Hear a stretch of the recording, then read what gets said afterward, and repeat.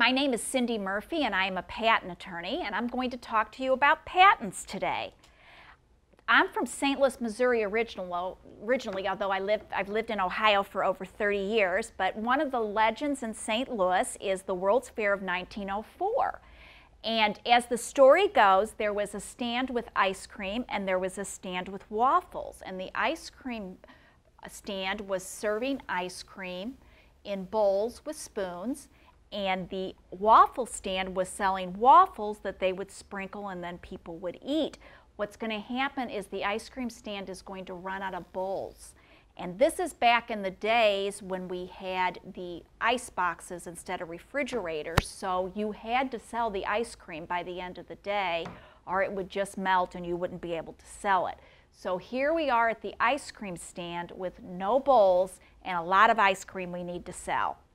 And that is going to be the birth of the ice cream cone invention, where the waffle, waffle eh, man is going to take his waffles, curl it into a container, and then they're going to put the ice cream in there so that the ice cream stand can sell its ice cream. Now there's three tests that we need for patentability, and so we're going to look at the ice cream invention for those three tests. The first one is utility novelty, the second one is novelty, and the third one is non-obviousness. Utility is it has to be useful for something. You just can't come up with a new chemical and say, I have this new chemical, nobody's ever come up with it before. And if somebody says, what do you use it for? You say, I don't know. You can't get a patent on that. Or you can come up with a new device, like a new device and if there's no use for it, then there won't be any utility. Most entrepreneurs are going to come up, are going to automatically satisfy the utility test because when you're, when you're looking at something, it's a product that you can actually use for something and you're satisfying the need. So I would say of the three tests, that's probably the easiest. Novelty is has it ever been done exactly the same way before? Now with the ice cream cone, that was not exactly the same as the ice cream in the bowl, so we had novelty there. And that is going to be, if you look in the mirror, do you see the exact same thing? If the prior art does not have anything out there that's exactly the same, then you've satisfied the novelty test. The non-obvious test is the one where gets very interesting in patent law. And what that is going to be is if the test of if I knew I had ice cream in a bowl with a spoon and I knew I had a waffle, would it have been obvious to come up with the ice cream cone invention? Because you're really just putting those two things together. That's going to be evaluated over the person of ordinary skill in the art. Would a person of ordinary skill in the art looked at the waffle and looked at the ice cream in the bowl and said, hmm, a very easy, obvious thing to do is to make it into an ice cream cone container and then put the ice cream into it. That's, in this situation, um, I would say that the ice cream cone invention is not obvious because for years you had the waffles and for years you had the ice cream and they were being sold side by side at fairs and no one else had ever come up with this before. So this is going to be the, um, I'm going to say that the ice cream cone is not obvious. Now this is a very subjective test, needless to say, which is why you need a very good patent attorney like me. Okay. The next thing we're going to talk about is claim scope because when I'm getting a patent on something, it's all going to go down to what I put in the claims. And the claims are going to be where I define my invention on what I consider my invention to be. Now you don't want it too big or it's going to cover the prior art. And prior art is everything that's been done before by everyone else. So in this situation, we can't have our claim scope too big or it will cover not only our ice cream cone invention, but it'll also cover the ice cream in the bowl. So if we look at a, an example of a claim that's too big, it would be a food product comprising a receptacle having an open top and a closed bottom, and an edible substance scooped into the open top of the receptacle. And we can't make it too small or it won't cover enough. So if we make it too small, we would say a food product comprising an edible receptacle having an open top and a pointed bottom, and an edible substance scooped into the open top of the receptacle. Now that's going to cover the ice cream cone with the pointed bottom, but it's not going to cover an ice cream, ice cream container that doesn't have the pointed bottom.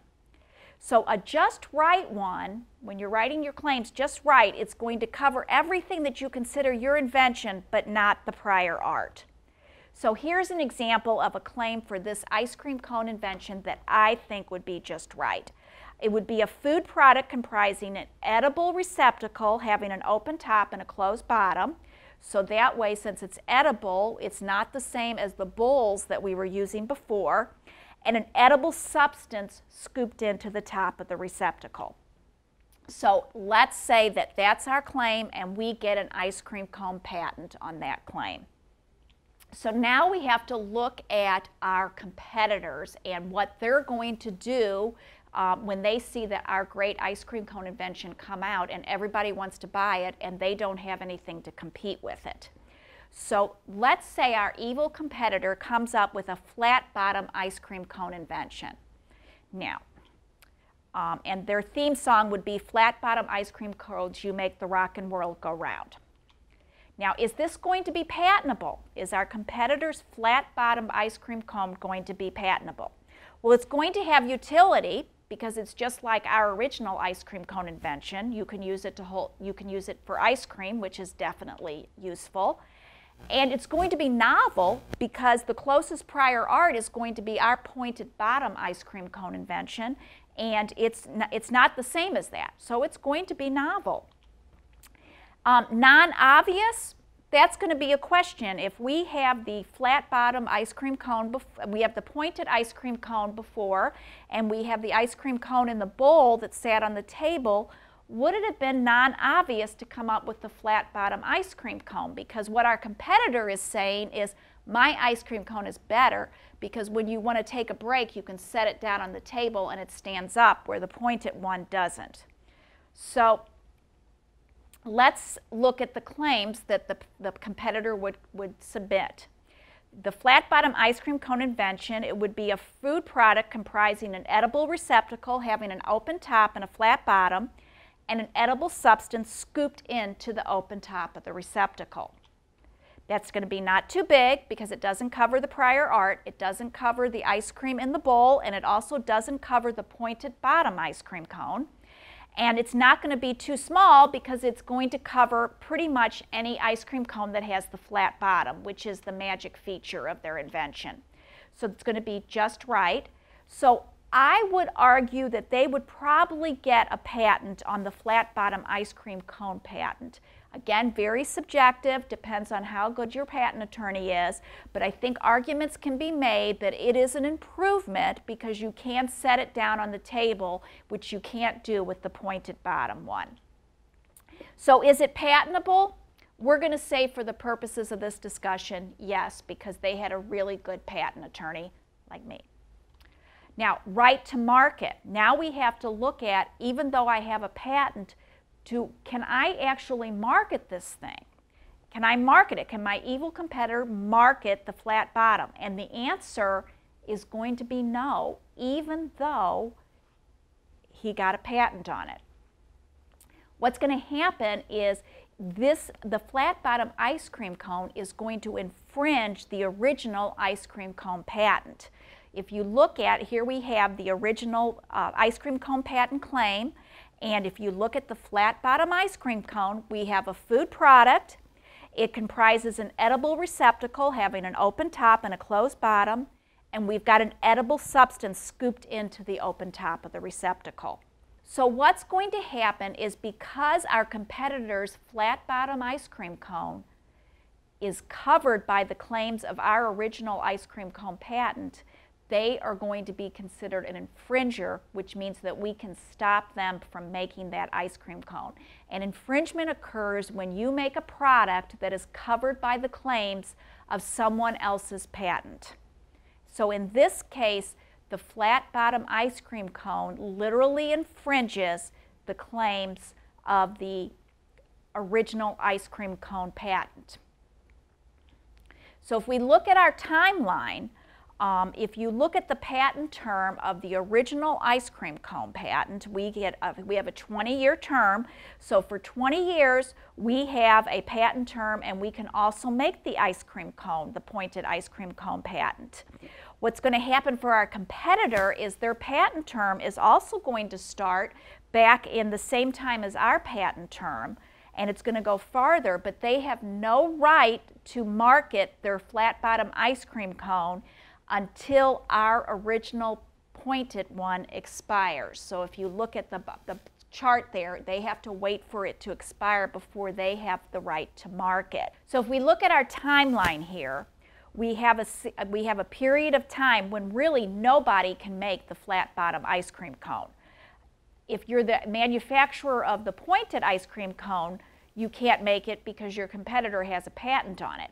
If you're the competitor, you can't make it because it infringes the original ice cream cone patent.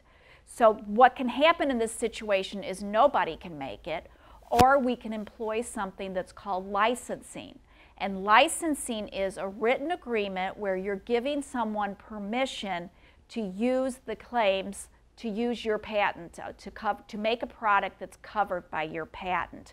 So in this situation, we could license our competitor to our original ice cream cone patent so they would be allowed to manufacture their flat bottom one and our, our competitor could license us so that we were allowed to make not only the pointed one but also the flat bottom one.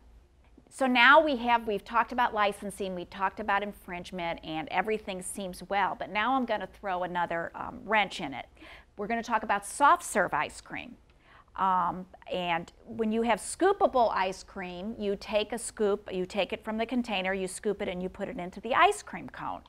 With soft serve ice cream, we're really not scooping it. We're sort of dispensing it, so it's sort of pouring or, or going into the ice cream cone. There's not really a lot of scooping going along there.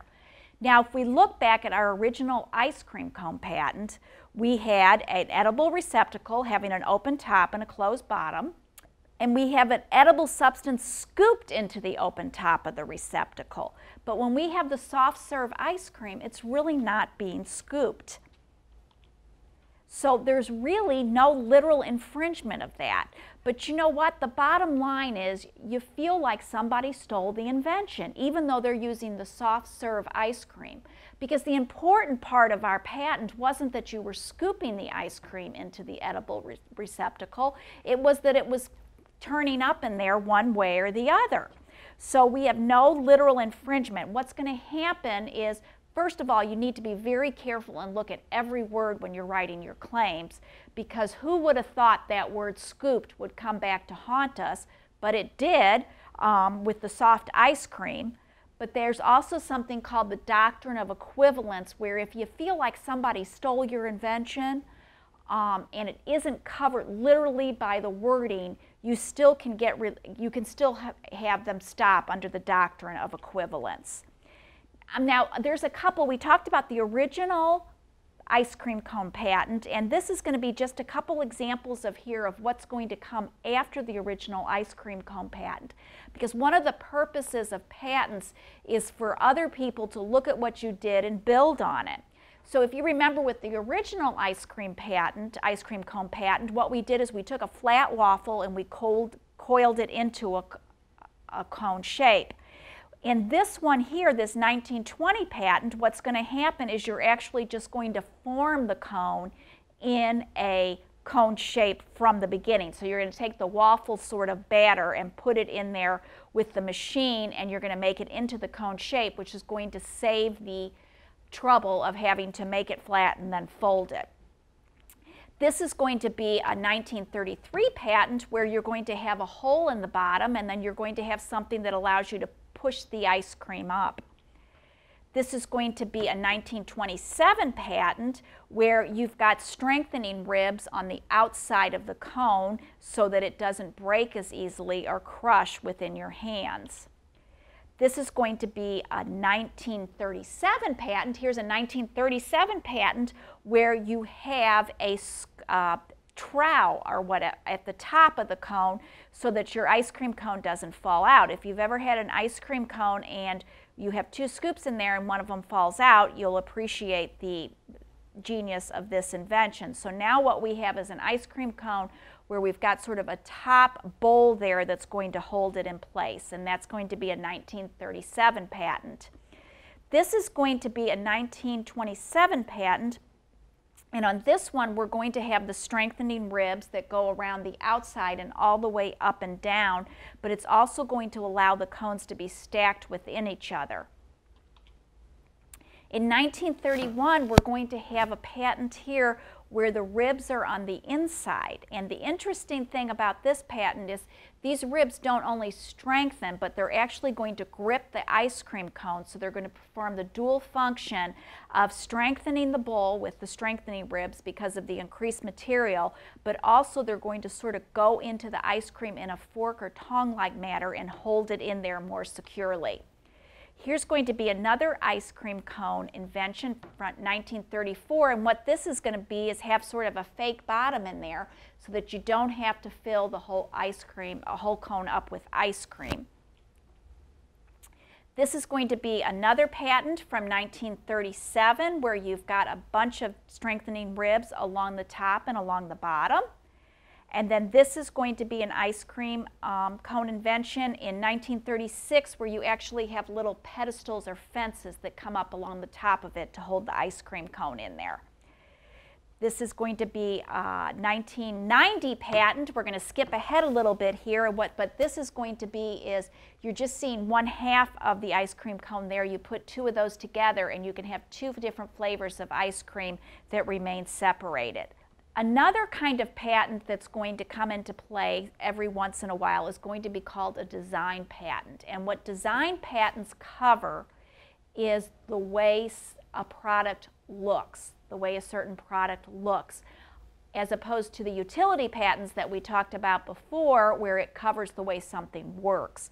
So in this situation, when you get a design patent, and there's certain situations where design patents work very well, and in, in, those situations, they're worth getting. But this, in the design patent, is just going to cover the way things look when you look at them as opposed to the way they work. So here are just a few examples of some design patents. And this would probably be my favorite because it's shaped like a baseball at the top and a bat at the bottom. And here's another one. So that is an overview of patents and how you can use them to protect not only ice cream cone inventions, but any inventions that you may come up with. Now that we've learned everything there is to know about patents, we can move on and talk about another form of intellectual property, which is trade secrets. And I like to use the example of ice cream again. And in 1929, Tom Carvel is going to begin selling ice cream from the trunk of his car he's going to, on Memorial Day weekend, he's going to suffer a flat and he can't drive his car anywhere. So what he's going to do is start selling ice cream right out of his truck to the people that are going by on the busy road. This is going to be the birth of the ice cream parlor. For the first time, it's going to occur to someone that I don't have to be driving around to sell ice cream. I can be stationary and people will come to me. Tom's going to go on with this business and he's going to develop an electric freezer that produces the soft ice cream of the custard-like consistency and a pump for dispensing this ice cream from a spout. So this is going to be the soft ice cream as opposed to the scoopable. He's going to patent the pump. So Tom's going to use a patent to protect his pump that actually pumps the ice cream out in the soft serve farm. But he's going to keep the ice cream formula a secret. And he's going to treat this as a trade secret so that in 1979, uh, Mr. Mr. Carvel is going to be in, under uh, investigation by the state uh, for um, just looking into his records and auditing things and things like that. And the state is going to ask him to disclose the ice cream recipe. And he's going to claim that it's a trade secret and he's not going to be required to disclose that. Now in 2009, this is going to come up again and it's going to be for the investment banks having to disclose what the bonuses and salaries of certain people were like, and they're going to call what they say is still called the ice cream defense that they don't have to disclose those because they're trade secrets. Now they're going to lose on that argument because bankers at different banks routinely call each other and talk about how much money they're making. So this is not going to hold up, but the ice cream defense lives till today and so you can depend on trade secrets to protect your intellectual property, provided that you can keep it secret and it stays secret once you put your product out on the market. So trade secrets are another way of protecting intellectual property. Now, with patents, you have to go to the patent office and actually get a patent. With trade secrets, the way you get a trade secret is you keep something secret. You treat it as a secret. One of the most famous trade secrets is the Coca-Cola formula, which there is not a patent on, but it's a trade secret and they keep it locked in a safe and only certain people know what it is. So trade secret is a very viable and legal form of protecting intellectual property but it does it protects you as long as it remains secret. If you have a product that you put out in the market and people can determine everything they need to know about it by looking at it, a trade secret is not going to do you any good. With trade secrets, the important thing is that not only that you keep it a secret, but that it can be kept a secret. If you come up with a new type of coffee cup that has a special handle, you can't treat it as a trade secret because the minute it goes on the shelf, people will be able to see what kind of handle it has and make it themselves. If you come up with a secret formula for making better coffee that nobody can figure out, then you might have means for a trade secret protection. But you have to treat it as a trade secret, keep it safe, and when I say keep it safe, I mean keep the formula in a safe and make sure that not everyone knows about it because you only want the people at your company that need to know about it to know about it. Anything that can be reverse engineered or figured out how it's made can't be protected by a trade secret because if somebody wants to make it, they can just buy your product, reverse engineer it, and then come out with their own. But trade secrets work very well in certain situations where someone cannot figure out from the product that you put on the market what the intellectual property is or the invention or the formula that went into it. So now we're going to talk about another type of intellectual property, trademarks. And if you go back to our ice cream example, Ben & Jerry's would be example of a trademark in the ice cream world. The important thing about a trademark is that it's an adjective that describes the source of your product. So Kodak cameras is a good example of a trademark that's an adjective. Apple computers, Exxon gas station, Starbucks coffee, Nike running shoes. Now, a trademark should not be a noun. And if you have people start treating your trademark like a noun, it will become what's called generic and no longer function as a noun.